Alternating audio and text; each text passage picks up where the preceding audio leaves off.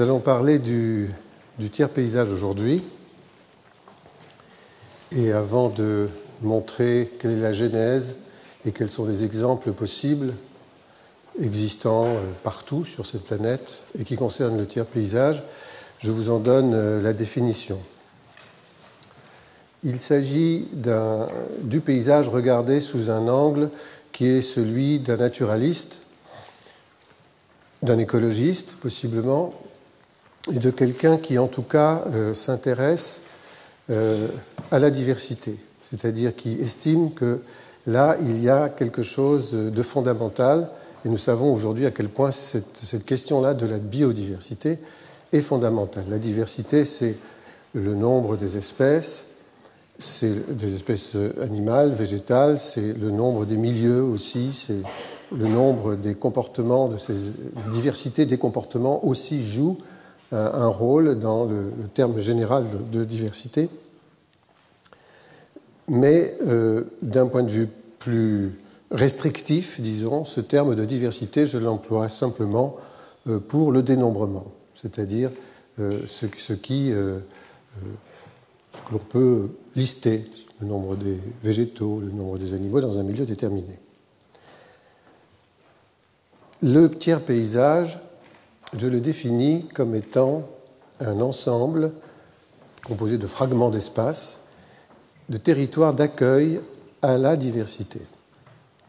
Pour la raison que euh, on s'aperçoit aujourd'hui, depuis déjà un moment, sur cette planète, que cette diversité est en souffrance, qu'elle est chassée d'un certain nombre d'endroits qui sont pratiquement ceux euh, qui se trouvent occupés par, euh, par l'homme ou sur lequel, territoire sur lequel l'homme a une action forte, violente et, souvent destructrice. Ce n'est pas toujours la ville.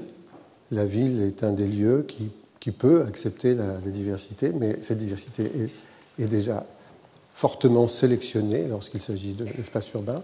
Mais en tout cas, ce sont des territoires de, disons, de, où, l'industrie s'est installée, l'agriculture s'est installée, l'exploitation forestière s'est installée, etc., le tourisme et le reste. Et donc, il s'agit principalement de lieux dont l'homme ne s'occupe pas, c'est-à-dire que c'est une somme de délaissés. Et parmi ces délaissés, il, délaissés, il y a euh, dans ce terme-là, évidemment, la notion d'abandon. Mais il n'y a pas que les espaces délaissés, qui intéresse la diversité, puisqu'il y a aussi des espaces, des surfaces euh, euh, dans des milieux extrêmement différents, au sommet des montagnes, au fond de l'eau, où finalement il n'y a jamais eu d'action suffisante, du moins, apparemment, pour venir détruire de façon significative cette diversité, où il n'y a pas d'action délibérée. Et ces milieux-là sont plutôt des, espaces intouchés, relativement. Aujourd'hui, presque tout est touché des milieux primaires, on pourrait dire, c'est-à-dire où, il n'y a jamais eu euh, d'exploitation particulière et qui sont parfois en réserve.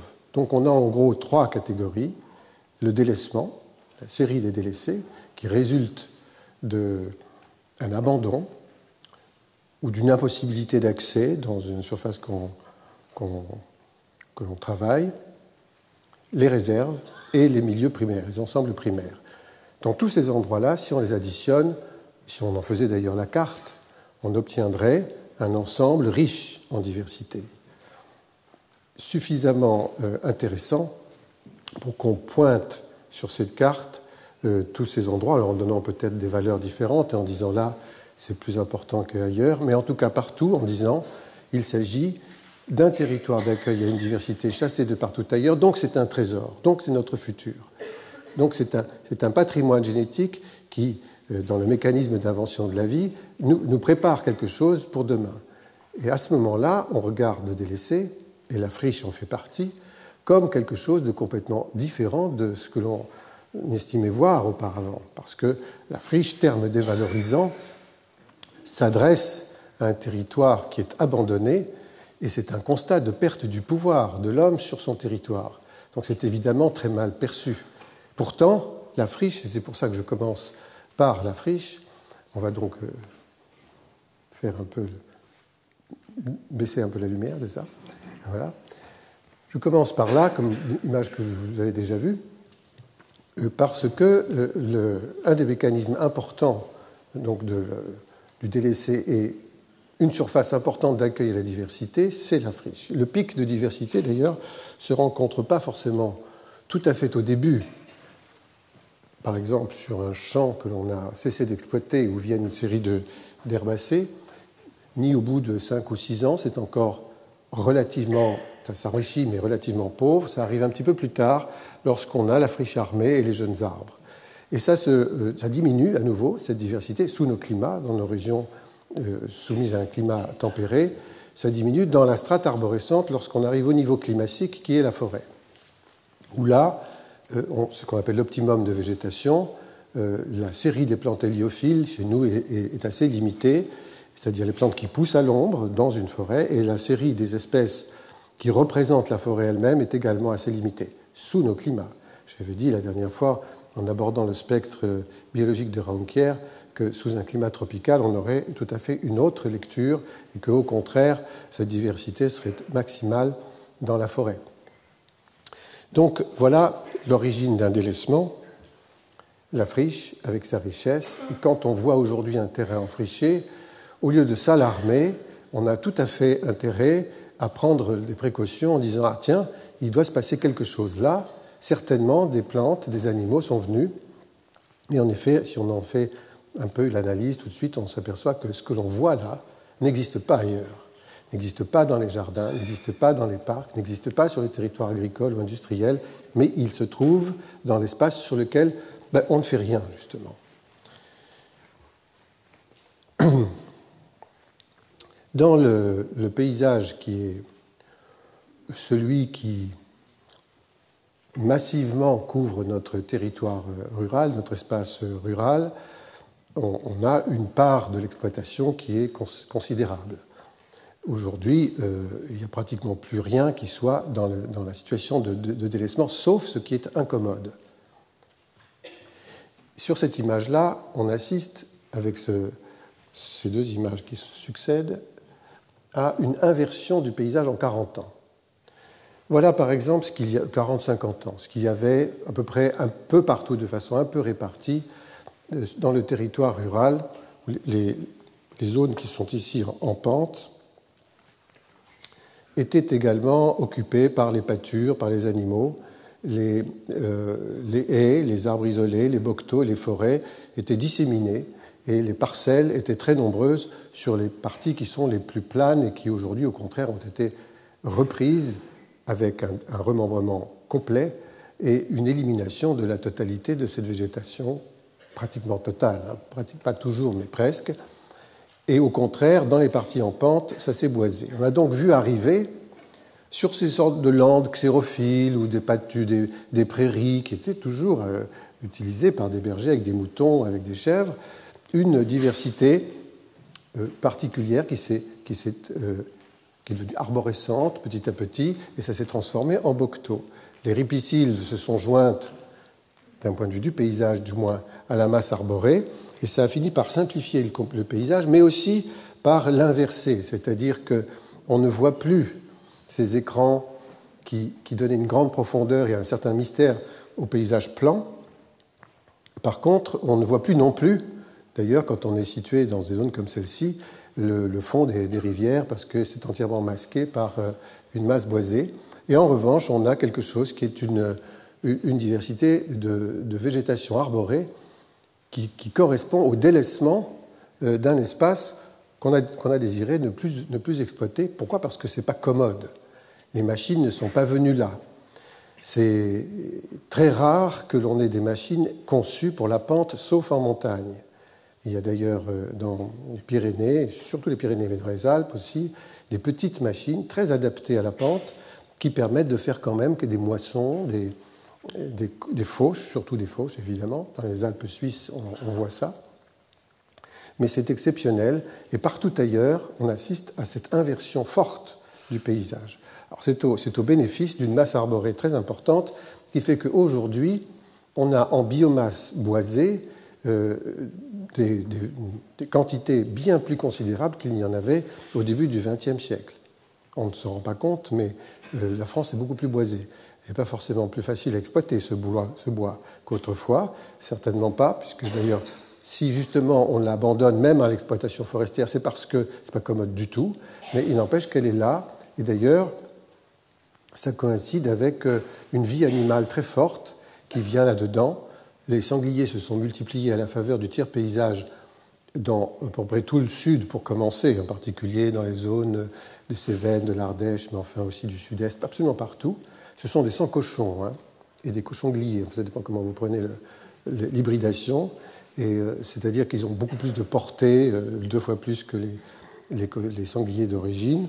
Donc, se sont énormément multipliés dans ce tiers paysage qui est passé de, de territoires euh, complètement exploités, quelquefois même en terrasse, comme en, Ardèche, je montrerai tout à l'heure, à des boisements où plus personne ne va, sauf la, flore euh, du gros gibier. Voilà par exemple sur la vallée de, la Creuse, un paysage que moi ben, j'ai vu évoluer personnellement euh, pendant de nombreuses années. Un boisement qui est sur les pentes les plus fortes, qui a d'ailleurs gagné en profondeur par rapport à cette image, et quelques landes rélictuelles qui sont demeurées pour des raisons touristiques, uniquement des raisons touristiques, c'est-à-dire qu'elles sont maintenues artificiellement puisqu'il n'y a plus de pâture, mais ça correspond au paysage que les impressionnistes, car il y a des impressionnistes qui sont venus à une certaine époque, même euh, Monet est venu là, et Guillaumin, qui était l'impressionniste principal de cette région, de la région de Crozan. Donc, où il y a des, on a maintenu comme ça, vous voyez, euh, c'est nostalgique. Ça ne correspond plus du tout à aucune espèce d'économie euh, locale.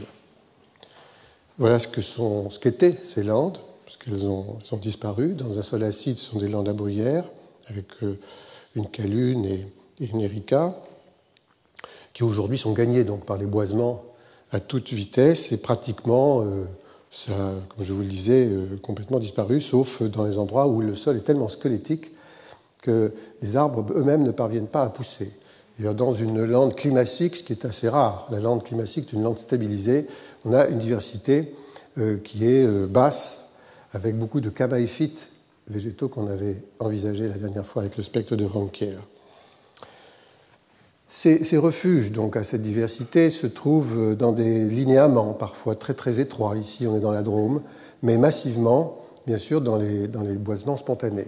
La diversité des végétaux dans ces boisements se dénote dans au moment de l'automne, quand vous voyez les érables, par exemple, se colorer. Ou les cotinus ou les autres, on est sur un sol calcaire à cet endroit-là alors, trois mécanismes euh, propres au délaissé. L'un qui est l'abandon, on vient de, le voir, l'autre qui est la soustraction, c'est-à-dire qu'on a un territoire qu'on tente d'exploiter complètement, mais on, a beau renier, on y arrive à, laisser vraiment ce qui n'est plus du tout, du tout exploitable. On voit bien ici ce que ça signifie, que cette apparition du délaissé par la soustraction. Et ou là encore, là on était euh, à l'île Maurice, excusez-moi, je, précise, c'est un champ de canne et on n'arrive plus à, les faire pousser sur, le, sur cette espèce d'îlot qui devient euh, un lieu trop sec, trop rocheux.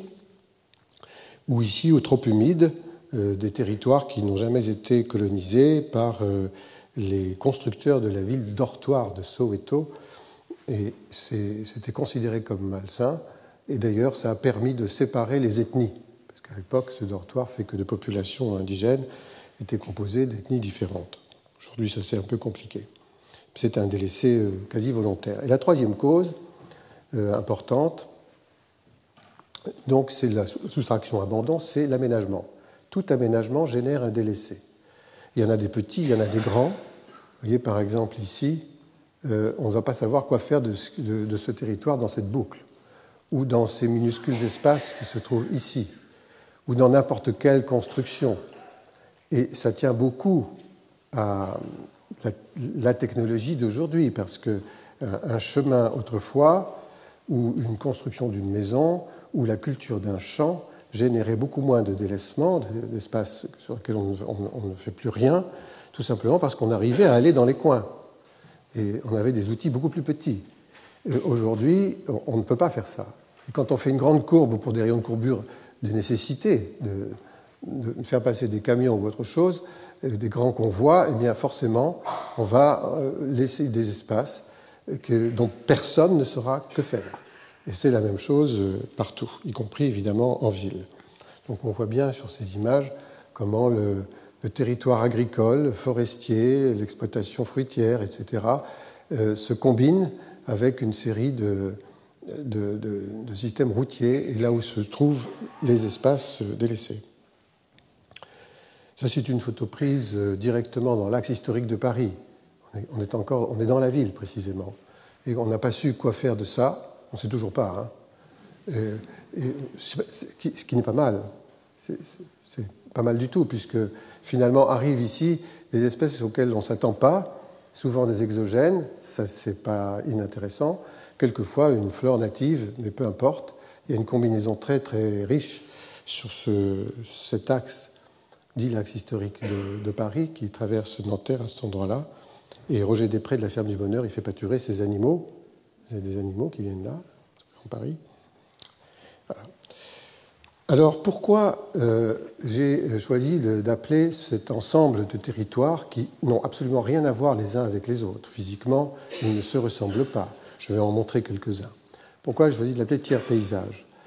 C'est que l'analyse a été faite au départ, c'est en 2002, autour du lac de Vassivière en Limousin. On est donc euh, dans une partie qui est un paysage harmonieux, boisé, avec un, équilibre heureux, disons, entre euh, les, creux, les bosses, entre les masses sombres que sont les forêts et claires que sont les prairies. C'est une caractéristique de ce Limousin. Je cherchais la diversité. J'avais bien vu ces espèces, je les connais, ces, grandes forêts et ces pâtures. Je ne la trouvais ni dans les forêts, qui sont des forêts exploitées, ni dans les pâtures ou avec un nombre en grande diminution. Pourquoi? Parce que lieu traité. On traite aussi l'herbe pour les vaches, parce qu'il faut augmenter la quantité d'herbe à, donner à manger à, ces animaux. Bon, donc on, vient, avec une pression très très forte, diminuer toute une diversité frugale. On n'a plus que les nitrophiles, c'est-à-dire les plantes gourmandes, puisqu'on a rajouté de l'engrais, voyez Donc c'est très sélectif. Et je me disais, ben voilà, un paysage comme le Limousin, comment je le définirais? Il y a une partie sombre, la masse boisée, une partie claire, avec cet équilibre euh, heureux, comme je disais, mais bon, les pâtures, et pour moi, le troisième paysage, celui qui exprime le mieux la vie finalement, c'est celui de la diversité. Et j'ai donc appelé le troisième paysage. Et puis je me suis dit non, troisième paysage, euh, je préfère me référer à tiers, tiers état comme, comme tiers état. Et non pas comme tiers monde, mais comme tiers état. Ça renvoie à la parole de Sieyès qui dit à un moment donné, c'est le moment de la Révolution française, qu'est-ce que le tiers état ben, C'est tout, tout le monde, c'est justement toute la diversité. Qu'a-t-il fait jusqu'à présent? Pas grand-chose, pas les moyens. Qu'aspire-t-il à devenir Quelque chose? Alors, je, ne dis pas que ce tiers paysage dont je parle, représenté par sa diversité, aspire à devenir quelque chose de lui-même.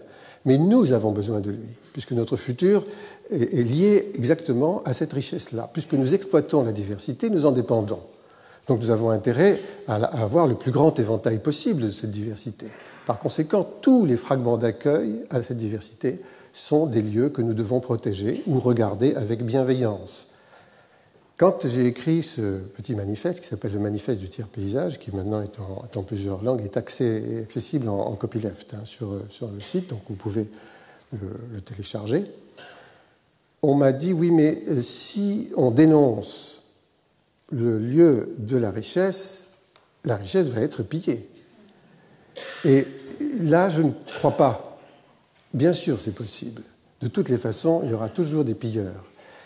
Mais il y a sans doute une façon meilleure de protéger cette diversité par l'accroissement de la connaissance que l'on aurait sur cette diversité elle-même dans ces lieux-là, que de maintenir l'ignorance en disant non, vous n'avez pas à regarder ça, ça ne vous regarde pas. Évidemment, comme je dis souvent, quelque chose qui n'a pas de nom n'existe pas, on peut bien détruire ce qui n'existe pas. Tandis que ce qui a une consistance et qui représente une richesse, on regarde à deux fois pour la détruire. Donc je pense quand même qu'en en parlant, on, protège. Le Limousin, le voici. L'exploitation forestière massivement, qui date du début du XXe siècle, c'était un pays de landes, pauvre. Et tout subitement, on a décidé, c'est quasiment une décision gouvernementale, d'en faire une région boisée, et, mm, avec des conifères. Donc la stérilisation du sol, venant de l'acidité, de, la culture de ces arbres, très proches les uns des autres, sans aucune diversité. Mais vous voyez sur cette image qu'on a pratiquement une espèce ici, très peu ici, mais beaucoup apparemment, en tout cas ça se voit à l'œil nu, dans un interstice qui est abandonné, à l'exception de ce qui est directement autour des maisons, où là il y a des gens qui s'occupent un peu, mais pas pour le reste. Et c'est là que je trouve cette diversité, donc dans les lieux d'abandon, qui sont très variables. Vous voyez sous un, sous un bois de conifères, mais ça, sans doute, vous avez déjà rencontré ces, paysages extrêmement stériles. La façon dont on exploite est très brutale. Au moment où on replante les arbres, il y a en même temps des végétaux qui viennent, là il y a un moment riche, et puis ça redisparaît de nouveau lorsqu'ils poussent parce qu'à leur ombre tout disparaît. Aujourd'hui, euh, l'ONF a changé un peu ses techniques depuis la tempête Lothar, qui a eu lieu en 99-2000. Ils se sont posé la question, justement, dans cette région, on avait discuté avec eux, savoir s'il ne vaudrait pas mieux laisser revenir les végétaux par eux-mêmes. Il y a des semis d'ailleurs de ces conifères qui, ont lieu, mais bien sûr aussi de feuillus et donc des semis spontanés, et ensuite de faire la sélection, puis la récolte euh, petit à petit, ce qui serait évidemment aucun coût à la mise en œuvre. Donc c'est avantageux. Un coût, par contre, à l'exploitation, qui était à recalculer, et aujourd'hui ils sont encore sur ces estimations. Le Centre d'art et du paysage, ça s'appelle comme ça maintenant, existe sur l'île de Vassivière, et au moment où il y a eu cette tempête, une diversité de plantes pionnières qui sont typiques des clairières sont arrivés, les épilobes en faisaient partie, mais euh, tout autour, il y a un ensemble, euh, disons, de milieux relativement stables qu'on peut, assimiler à des espaces de réserve, parce qu'il y a très longtemps qu'ils sont là. C'est des espèces de, réserves euh, non déclarées. Certaines sont protégées. Maintenant, les tourbières le sont, par exemple. Mais pendant toute une époque, elles ne l'ont pas été. Les plans d'eau sont riches. Quand on voit arriver des potamogetons, des plantes comme ça, euh, dans, une eau douce euh, quelque part en France, on se dit que l'eau n'est pas polluée. On fait partie de ces régions, vous savez, qui sont situées juste au bord du château d'eau de la France, d'un des châteaux d'eau. Et il y a là quelque chose de très très fragile, parce qu'il suffirait de polluer cet endroit-là, le plateau de mille vaches, qui veut dire mille sources, pour que la totalité de toutes ces eaux soit complètement disqualifiée biologiquement. Donc là, on a encore des milieux qui sont très intéressants et où justement la diversité apparaît. Ce sont des, lieux, des milieux où l'homme ne va pas. Et ça, c'est un, petit étang qu'on avait appelé l'étang du héron, qui se referme progressivement, qui va devenir une sorte de tourbière et qui elle-même va se refermer. Et toutes ces mécaniques, on les voit au fil du temps. Ce sont des, des temps parfois extrêmement longs. La tourbière se bombe, puis elle se boise. Ça, c'est une tourbière bombée et déjà boisée, avec une diversité très très spécifique, et une tourbière encore extrêmement ouverte, mais où l'eau n'apparaît plus, mais qui, aux yeux des habitants de toute une génération, hein, était considérée comme un endroit où on ne pouvait rien faire, et qui donc était dévalorisé par ce seul fait. Et c'est devenu euh, pour partie des décharges. Aujourd'hui, c'est interdit. Mais cette photo n'est pas ancienne, hein. elle date de 2001 fait 10 ans. 11. Les ripisylves font partie de ces lieux de, richesse, parce que chaque fois il y a une diversité qui s'ajoute. Ce sont des espèces inféodées à ces milieux typiquement. Le bouton d'argent, on ne le rencontre que dans des conditions très particulières, dans ces milieux-là. Toutes les, espèces de la lande xérophile, là on voit un milieu mixte où il y a de ce boise petit à petit, on voit bien que c'est dans les pentes qu'on a tout abandonné constituent des, séries floristiques très particulières, très à part, et on peut dater. C'est-à-dire, par exemple, cette, voiture, elle, ne pourrait pas rentrer maintenant, ni sortir d'ailleurs, parce que les arbres ont poussé partout. Donc elle est tombée à une époque, et les arbres ont poussé tout autour. Euh, c'est une friche euh, qui est boisée, c'est devenu un boisement maintenant, qui a une cinquantaine d'années. Alors on peut le voir avec la, la marque de la voiture. Cette image qui était très précieuse pour, pour, moi, parce qu'on voit bien ici la, diversité qui apparaît dans un territoire d'abandon, qui apparaît sur un bas-côté, on va revenir sur le bas-côté, sur les routes, la richesse du bas-côté, et puis euh, qui est un petit peu moins importante, mais qui existe aussi dans la strate des lignes au fond, qui est un niveau climatique.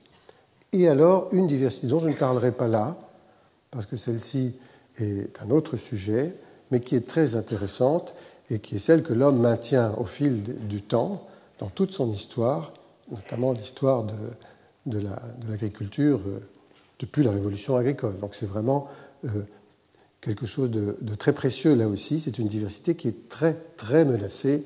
Vous savez, avec les récents, euh, récentes lois iniques, inacceptables sur les semences, on voit disparaître le nombre d'espèces qui correspondent plutôt à des variétés d'ailleurs, de toutes ces espèces qui sont vivrières et qui sont tout à fait liées à des zones climatiques particulières, pour n'autoriser que celles qui sont homologuées et qui appartiennent, encore une fois, au pouvoir, au lobby.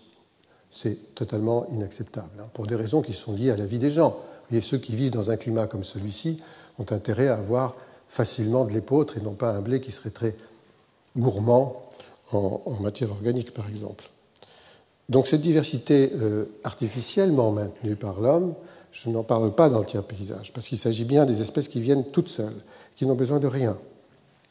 Voilà dans un, marais comblé à Tadon, près de La Rochelle, euh, des espèces complètement exotiques, puisqu'il y a un mélange entre des pyracantha, des cotonéastères et des, et euh, donc des plantes euh, d'origine diverses dans le monde, beaucoup américaines, chinoises aussi, et qui viennent coloniser ce, lieu récemment abandonné qui avait été comblé d'ailleurs, un marais comblé euh, contre la loi, parce que ces marais étaient protégés. Donc ça a fait toute une polémique à l'époque.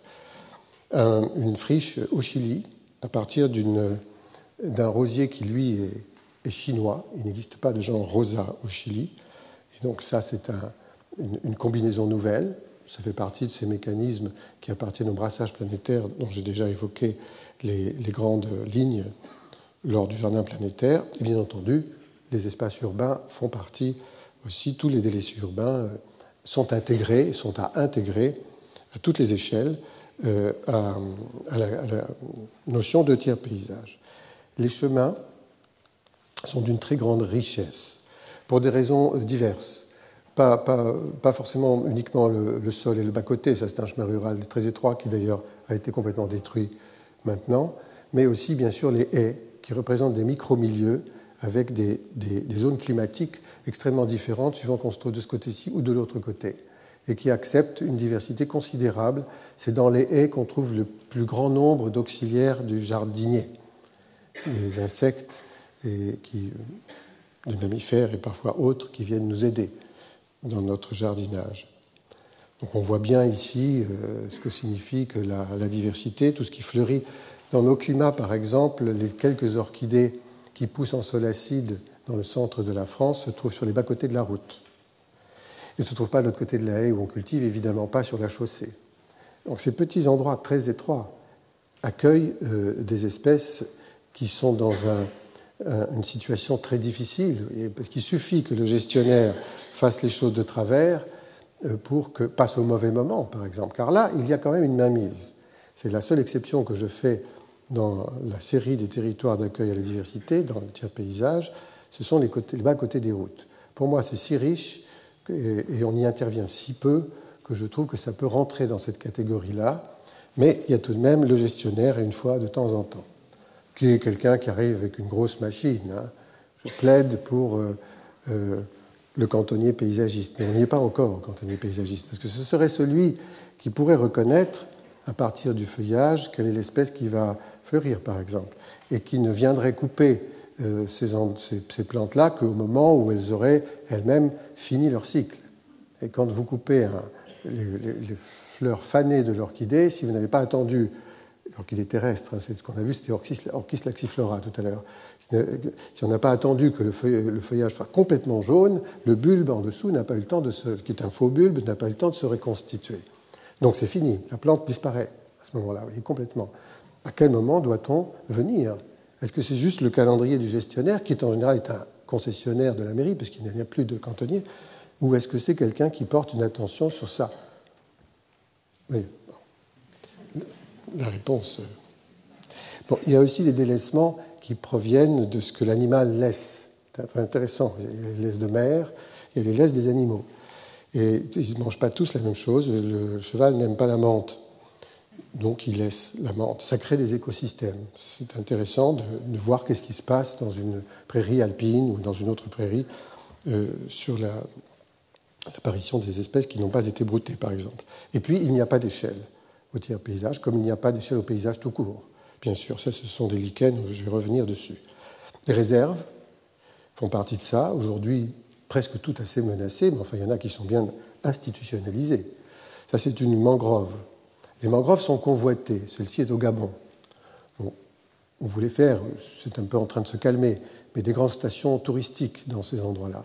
La mangrove est un, écosystème tout à fait extraordinaire où tous ces arbres que vous voyez là sont pratiquement dans l'eau. Ce sont des rhizophoracées, des plantes qu'on appelle des palétuviers, un nombre réduit d'espèces arborescentes, un très très grand nombre d'animaux qui vivent euh, de, ces, végétaux, de ces protections-là et de, la, du mélange de l'eau douce et de l'eau saumâtre. Et toute une source de protéines très considérable pour la nourriture des humains vient de ces milieux-là, à tel point, vous savez que euh, au Vietnam, après euh, les passages au napalm par les Américains lors de la dernière guerre du Vietnam, eh bien, les, Vietnamiens ont, décidé de replanter des mangroves. On n'avait jamais vu ça dans l'histoire de l'humanité. Planter une mangrove, c'était parce que c'était tellement important pour la survie qu'il fallait le faire. Cela dit, c'est un milieu euh, spontané, bien sûr. Les milieux comme cela, la forêt japonaise ici, qui est protégée parce que protégé partiellement. Il y a deux, espaces avec des statuts différents, l'un qui est exploité, l'autre qui est complètement sacré, et qui finit par transformer ce milieu forestier en réserve. Donc on est dans un, délaissé euh, singulier, si vous voulez, il est par respect. Alors que peut-on faire avec ce tiers paysage Que doit-on faire ou que peut-on faire? Premièrement, sans doute, le repérer. Ce, repérage euh, fait l'objet d'une cartographie. C'est un des, une des premières choses que l'homme fait sur son territoire pour se, pour se, diriger et pour euh, savoir quelles sont euh, ses balises, les lieux où il va aller, ceux où il ne va pas aller, ne serait-ce que pour ne pas les traumatiser. Avec Patrick Bouchin, qui faisait à ce moment-là, une, étude pour le passage en l'an 2000, commandité par la Caisse des dépôts et consignations à l'époque. Il s'agissait de faire un geste. Nous avons fait une étude, non pas, ce n'était pas une construction, c'était rien du tout, ni un projet d'aménagement, mais une analyse territoriale à travers un certain nombre de délaissés euh, qui étaient situés un petit peu partout en France. Alors Paris, là vous voyez la partie est de Paris, Paris est gros comme ça, donc c'est toute la zone est ici, et tout ce qui apparaît sur cette carte en vert, c'est ce que euh, officiellement on vous dit être des bois, des jardins, des forêts. Et puis, euh, ce qui en fait est en rouge sont des espaces délaissés. Mais il suffit de les colorier de la même façon, parce que les oiseaux, ils ne font pas la différence, hein, pour que finalement apparaisse la biomasse du vivant. Et vous pouvez dire, c'est tout aussi important. Donc le code coloré sur une carte, il est fondamental. Donc on avait fait tout ce repérage, alors ça a donné lieu à un petit ouvrage qui s'appelle La forêt des délaissés, puisqu'il y avait aussi euh, une recherche de qu'est-ce que ce serait que l'économie d'un délaissé. Qu'est-ce qu'on peut en faire? Je, vous renvoie, donc à, ce travail que, vous trouverez euh, certainement. D'une autre façon, il m'avait été euh, demandé, il s'agit aussi d'une cartographie, vous voyez là, de faire un, projet pour un projet de carton de tapisserie. Je ne m'attendais pas à ça. Je ne suis pas tapissier ni, ni cartonnier, je ne sais pas comment on appelle mais je me suis dit, je vais parler de ça, puisque c'était le sujet qui m'occupait à l'époque, et qu'en plus, la commande venait de Feltin et Aubusson, c'est-à-dire euh, les villes où on fait encore de la tapisserie dans cette région. Et les villes voilà la ville d'Aubusson et voilà la ville de Feltin. Ça, c'est la Creuse, qui prend ici un axe nord-sud, et la vallée de la Roseille. Ce qui est montré avec des taches rouges foncées, ce sont des masses boisées, gérées. Ce qui est en clair, ce sont des espaces ouverts, exploités.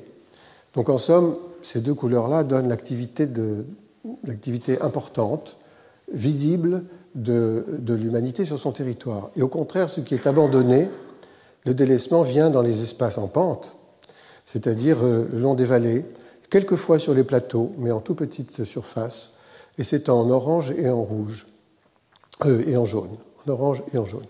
Il y a 8 km entre les deux. Je vous donne l'échelle du, territoire.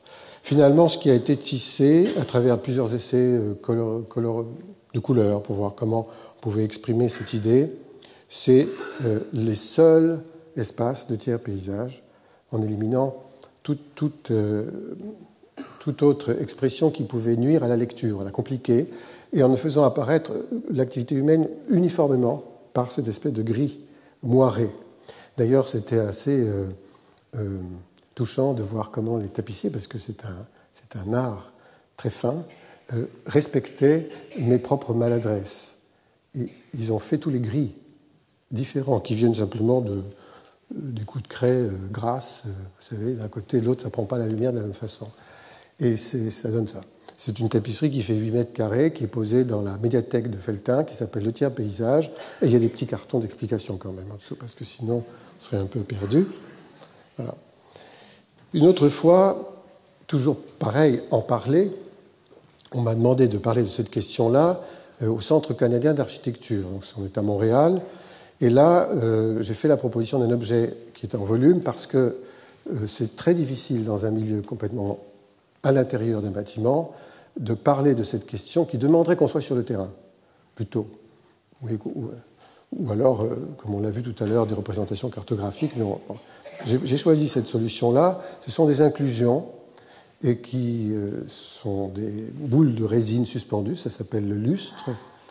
Et on n'a pas pu tout mettre hein, parce que c'était les éléments de diversité que nous avons prélevés sur un délaissé qui est directement derrière le, bâtiment du CCA, qui est un gros bâtiment comme ça, était très très nombreux. On a fait un choix, et si on avait tout mis, le plafond serait effondré, donc ça n'allait pas. Et on a, le texte qui expliquait ça, mais on avait aussi mis quelques éléments de l'industrie humaine, parce que ça fait partie, finalement, de ces espaces euh, délaissés. ça donnait des choses comme ça. Et l'ombre, euh, ce n'est pas le lustre qui éclairait, mais il était éclairé il s'agissait de montrer l'importance de la diversité. Ça finissait par faire ça sur le sol. Et il y avait un certain nombre d'explications, avec notamment les, photos de milieux dans le monde euh, appartenant à cette notion-là, sous des thèmes, euh, des sous-thèmes, disons, très, très différents, sectorisés, et puis les, traductions en anglais. Plus proche, plus, récemment, euh, à l'occasion d'une exposition à Beaubourg, à Beaubourg qui s'appelait Air de Paris, la somme des objets que nous avons, objets animaux, végétaux, objets tout court. Euh, si possible, on n'a pas pris d'animaux vivants, on a pris des tests, c'est-à-dire des coquilles ou des choses comme ça. Nous avons énoncé en suspension sur le fond du paysage parisien vers le nord dans cette exposition euh, à Beaubourg. Et la friche est celle-ci. C'est une friche qui est, encore une fois, sur l'axe historique de Paris, une friche très menacée d'ailleurs hein, par l'aménagement. Le jour où on aura accepté un, morceau de tiers paysage dans la ville, on aura fait un énorme progrès. Hein. Et d'ailleurs, voilà, une ville qui nous a demandé, Montpellier, récemment, avec euh, l'équipe Coloco, le collectif Coloco, un travail sur ces délaissés. Ayant euh, pris la mesure de cette question-là, ayant bien compris que le tiers paysage pouvait être un outil politique de gestion du territoire, ils nous ont demandé l'analyse des délaissés dans toute la partie sud de la ville, et enfin, aujourd'hui, ça s'étend euh, récemment, on vient de savoir, à une commande un peu plus, étendue encore. Et cette cartographie-là montre un certain nombre d'espaces qui, sont souvent étroits hein, et qui ont quand même euh, parfois des grandes ampleurs, sont parfois connectés, et à d'autres fois, nous avons suggéré les connexions simplement pour euh, insister sur la nécessité du continuum biologique dans une ville. Avec ça, trois propositions. Là, pour le coup, on arrive à non plus la cartographie et le repérage, qui sont deux choses très importantes, comment on en parle, euh, qu'est-ce qu'on fait avec? Mais aussi, peut-on faire un projet véritablement? Eh bien là, on dit peut-être trois modes d'exploitation ou de non-exploitation d'ailleurs du tiers paysage dans un espace urbain comme Montpellier. Le premier, parce que l'on est devant une école, parce qu'on est dans un quartier où il y a besoin d'espace, parce qu'il faut pouvoir mettre des jeux, pouvoir se promener, etc., on, l'aménage, c'est-à-dire on fait une proposition d'aménagement.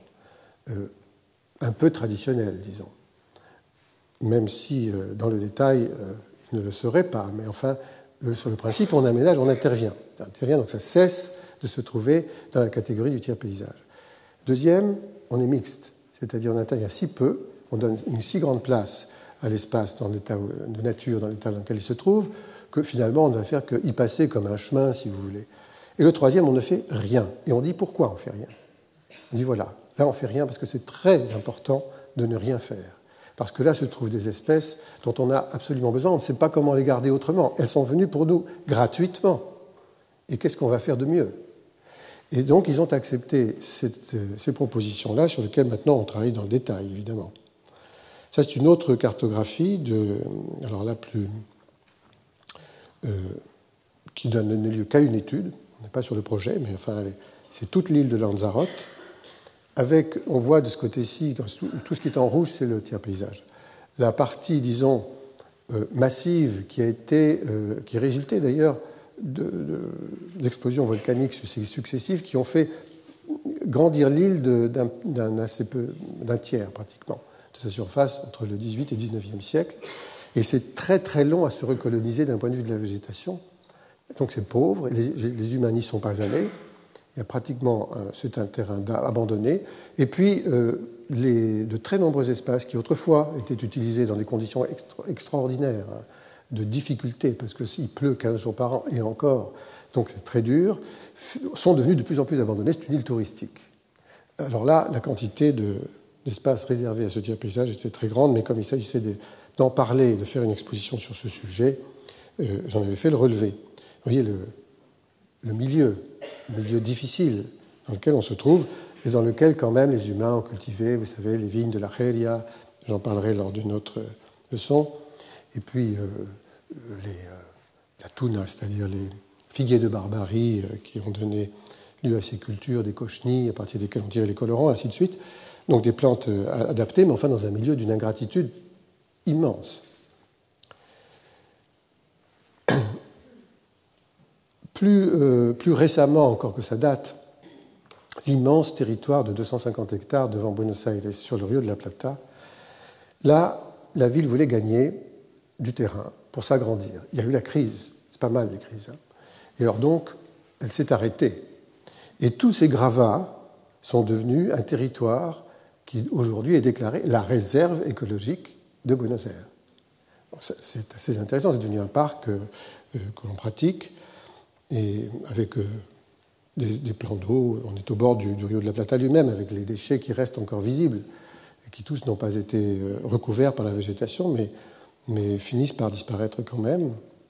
Des chemins, d'ailleurs, qui sont parfois réalisés avec le broyat de ces matériaux qui avaient été mis, et des paysages aussi étranges, que cela, attractifs aussi, hein, bien sûr, pour lesquels on n'a rien fait, il n'y a rien eu de, là de, mise en œuvre, on a laissé faire la nature. C'est le plus grand parc euh, de Buenos Aires aujourd'hui, bien sûr. Une action mineure et fondamentale, euh, initiée par un, homme assez génial, qui s'appelle Maurice Soudière, et qui lui prend le délaissé comme un trésor, mais depuis toujours. Sauf qu'il ne le nommait pas euh, tiers paysage, et greffe tout. Alors, à partir de pommier sauvage ou un poirier sauvage, il va faire un arbre fruitier euh, extraordinaire à partir d'un datura, qui est une herbacée. Il va greffer une autre herbacée comme une aubergine pour en faire des fruits dans des lieux où, de toute façon ces plantes, l'aubergine ne pousserait pas, mais le datura pousse. Donc le porte-greffe va donner la vie à quelque chose dont on va tirer un profit. Il intervient sur le tiers paysage avec une extrême délicatesse, puisqu'il s'agit juste d'une greffe, mais le tiers paysage devient un lieu de production. Ça, c'est complètement extraordinaire, ça s'appelle la forêt fruitière.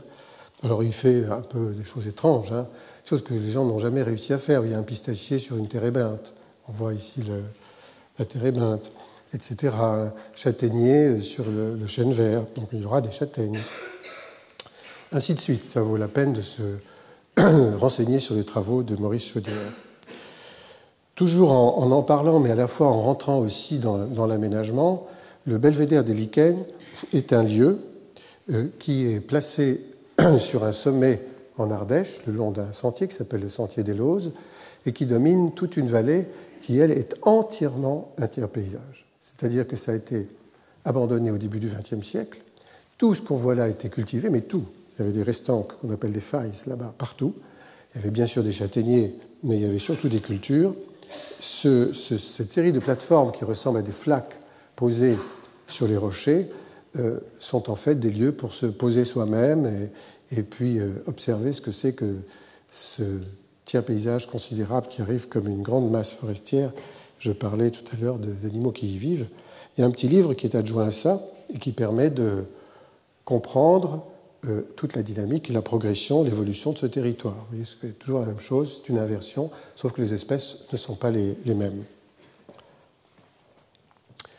Euh, adjoint à ce livre-là un autre qui s'appelle Les lichens du belvédère, où là, Corinne Beauvais, qui est une lichénologue, ça existe, euh, nous a fait la liste. Moi, je pensais qu'il y avait, avec ce double regard posé, le lointain, le tiers paysage, la transformation d'un paysage vers la forêt en, en X années, et proche, sur les rochers quelques espèces, j'avais dit 4, et en dénombre 14, et en fait il y en aurait 21.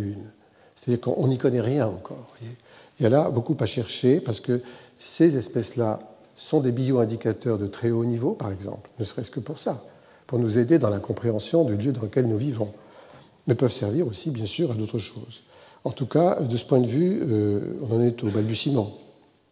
Donc voilà cette installation situé en Ardèche, à Saint-Mélanie, euh, dans un lieu qui est très, très sauvage. Un projet qui n'est pas réalisé mais qui se réfère à Lanzarote, où la partie du tiers paysage que vous voyez ici est une espèce de chaos rocheux volcanique. Lanzarote est une île volcanique. Le parti aménagé exploitant d'anciennes salines se situe ici, avec une amenée de l'eau de la mer, la mer est là, euh, et un dessalement par le, soleil et un traitement de l'eau et une répartition, enfin, mais pratiquement rien dans le tiers paysage. Il s'agissait de combiner les deux pour faire accepter cette partie-là. Ça n'a pas été réalisé, mais ça pourrait. Enfin, le vrai projet qui parle le plus, et euh, franchement, de cette question, quand euh, la proposition a été faite, j'imaginais que jamais elle ne serait acceptée, c'est le parc Matisse à Lille. Le parc Matisse fait 8 hectares la gare TGV est ici, la gare Flandre par là, donc ça c'est TGV Europe. Le, projet fait avec euh, l'agence Empreinte et l'artiste Claude Courtecuisse consiste sur ces 8 hectares à proposer dans un vide un objet qui s'en détache.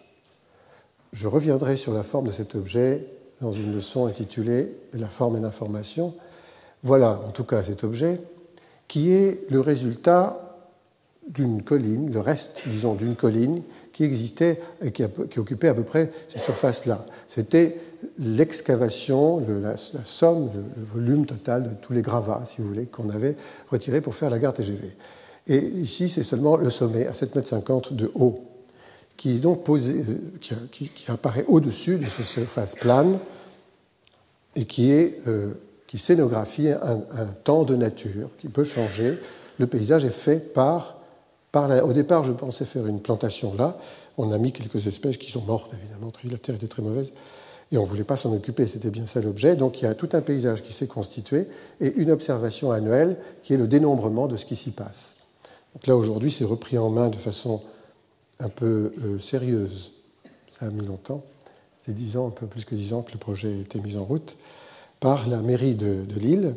Mais pendant un certain temps, Étant donné qu'il y avait des bâtiments qui se sont construits très près, les, habitants ont assez mal supporté l'idée de voir une friche sous leurs yeux, soclée en plus comme un objet rare. Euh, on se sont plaints et la ville a pris la décision de cacher tout ça avec des arbres parce qu'il n'était pas question de détruire, c'était trop coûteux. Et, maintenant, on a obtenu l'idée d'enlever ces arbres, qui ont beaucoup poussé quand même depuis. Hein. Ils sont devenus. Euh, bah, il faut du temps pour faire accepter le seul travail de la nature. Donc voilà un morceau de tiers-paysage soclé, à 7,50 m de haut, difficile d'accès. Quand on y va une fois par an, on trouve des ballons de foot, euh, on renvoie par terre, et puis on fait le dénombrement. sinon, c'est une gestion de jardin en mouvement partout autour.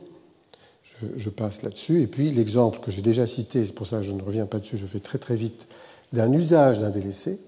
Là, cette fois-ci, c'est plus la création, c'est la prise en main d'un délaissé, qui était les 6 hectares du, du jardin de Jules Rieffel à Saint-Herblain, avec les étudiants qui travaillent dessus. Ça devient un jardin en mouvement. Donc c'était un délaissé absolu. Il y avait, il y avait 12 ans, je crois, d'abandon. Hein. Donc là-dessus, puisque je l'ai déjà montré, je ne, reviens pas dans les commentaires. Simplement vous dire qu'il s'agit de quelque chose où on intervient que comme un, comme un jardinier sculpteur et non pas avec des machines et en faisant des plantations.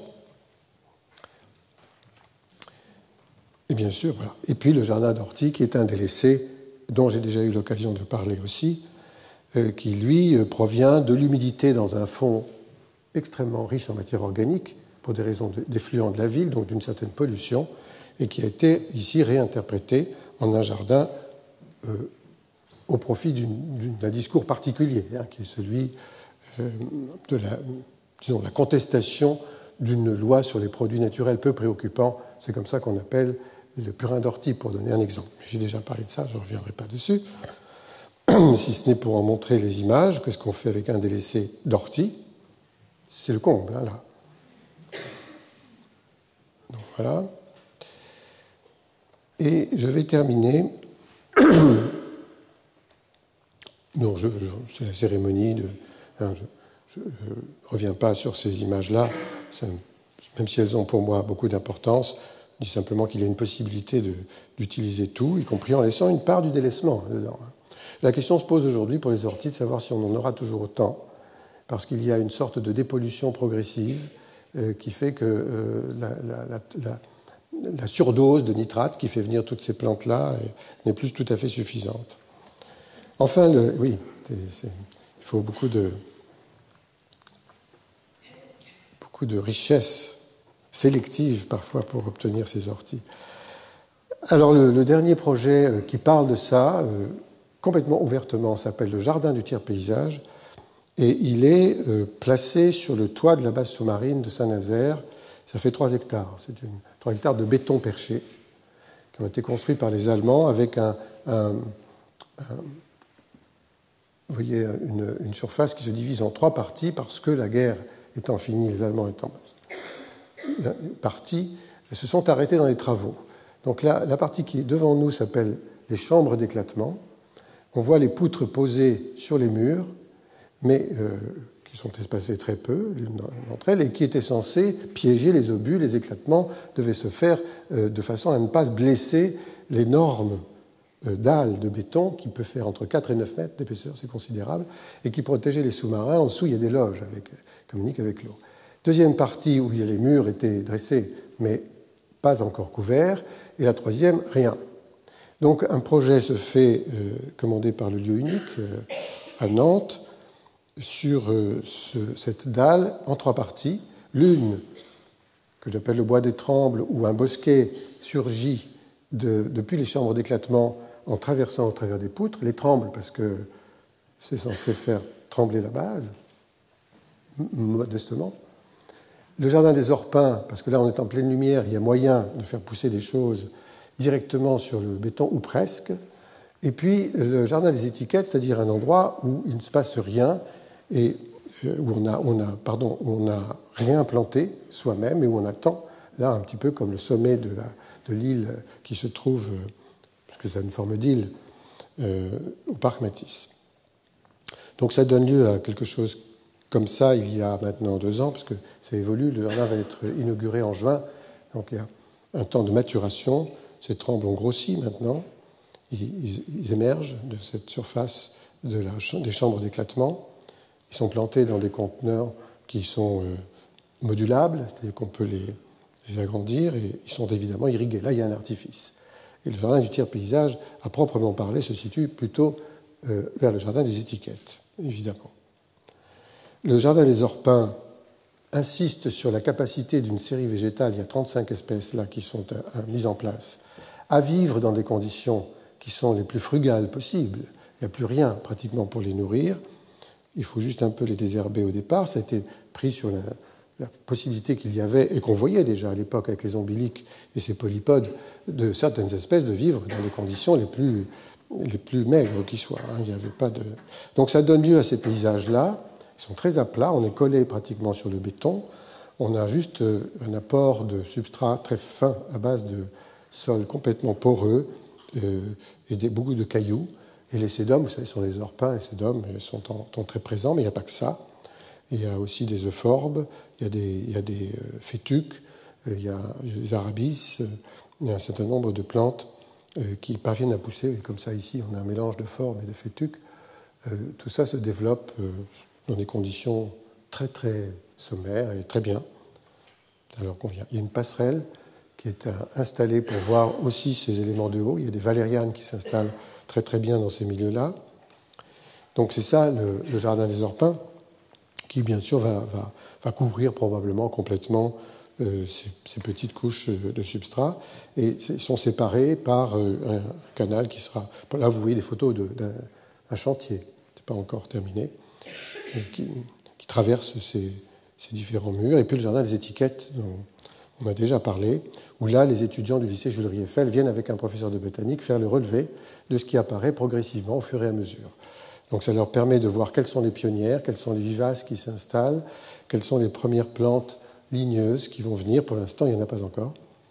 Mais on sait qu'il y a eu, avant que, nous soit proposé à travailler cette... Euh, je, suis un peu en retard, excusez-moi, euh, ce sujet, qu'il y avait eu un, pommier qui poussait. Puis ils ont nettoyé, dommage. Il y avait un pommier qui, était, qui parvenait à pousser ça, c'est la cartographie qu'on va rajouter, puisqu'on va le peindre sur la dalle elle-même, la cartographie du tiers paysage de l'estuaire. Parce que ça renvoie, à toutes ces questions renvoient à un tiers paysage beaucoup plus vaste.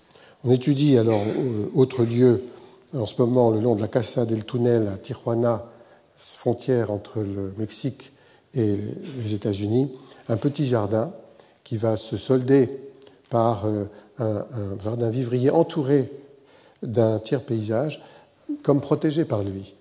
C'est ça le projet de Tijuana, et qui va venir se coller contre l'un de ces murs-là, mais côté mexicain.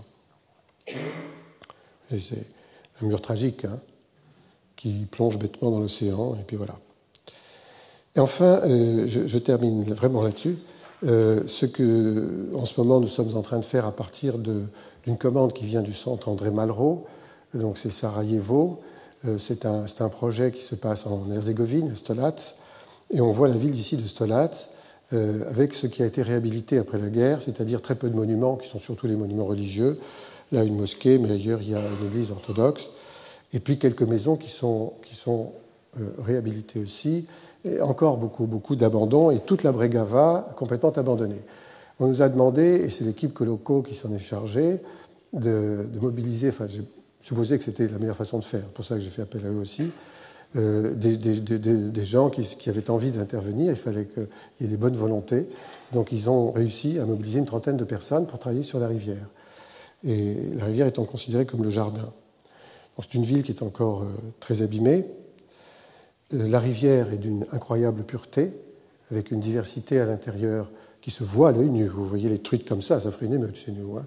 On voit des, tas de choses, des couleuvres et des écrevisses et euh, on se situe dans un univers très délabré en même temps. Autrefois, il y avait des potagers, des vergers, a encore des moulins qui sont complètement effondrés. Et tout leur travail, ça c'était il y a un peu plus d'un an, a consisté à d'abord enlever les déchets, ensuite à tailler dans cette masse pour pouvoir accéder, pour accéder notamment au bord de la rivière, recréer des, plages, des zones d'accueil. Ça a pris euh, 15 jours euh, très intenses. Ils sont retournés en avril et, de nouveau en juillet 2011. Et il y aura une troisième session où il va y avoir des choses qui vont se passer, euh, qui vont s'additionner, si vous voulez, par rapport à ces premières modifications. D'abord, un éclaircissement et une manière de voir, ensuite de se positionner dans l'espace. Donc il y a un petit mobilier qui a été construit, parfois avec l'aide des artisans locaux d'ailleurs, et euh, positionné dans des endroits où on estime qu'il faut venir se placer pour regarder ce que, est devenu un terrain qui est un immense délaissé, mais avec une belle richesse, et sur lequel d'ailleurs on peut intervenir très très peu pour revenir à une, cette richesse. Donc c'est très sommaire, hein, mais très important parce que c'est dans des points stratégiques, c'est aussi des systèmes de cadrage, d'approche au-dessus d'un vide, pour voir des endroits comme ceux-là, qui sont des lieux de rassemblement aujourd'hui, et qui avaient été complètement abandonnés pendant la guerre. il y a eu des fêtes d'ailleurs qui ont été faites euh, immédiatement après la fin de ces premiers travaux, et puis des discussions, y compris avec les habitants. Et l'un des enjeux de, Francis Bueb, qui dirige le centre Malraux, euh, c'était de dire est-ce qu'on peut remettre en discussion par le jardin, ici le jardin et le tiers paysage, bien sûr ensemble, quelque chose, euh, les remettre en discussion entre eux, est-ce que c'est une possibilité? Et euh, on, pense que oui, un peu, pas sûr de tout régler avec ça, mais une petite partie. Donc les, les étapes suivantes seraient vers les bâtiments, mais entre-temps, il y a eu des travaux avec les, écoles, avec les enfants. Et enfin, euh, avant-dernière image ici, le, le, relevé. C'est-à-dire que dans ce cas-là, comme dans le cas du jardin en mouvement aussi d'ailleurs, on peut très bien faire le plan, mais après, après être intervenu. Donc là, c'est ce qu'ils ont fait ici. Il y a eu une exposition et, des conférences qui ont concerné l'action de ces, 30 euh, intervenants très jeunes, certains sont encore en, étudiants, sur le, tiers paysage de, Bosnie-Herzégovine. Euh, cette dernière image-là annonce le sujet prochain. C'est une, une plaque métallique en fer sur lequel sont venus se, poser des feuilles d'un prunus. Et les feuilles sont parties par le vent, mais la marque est restée. C'est un tableau. Alors, euh, qui l'a signé?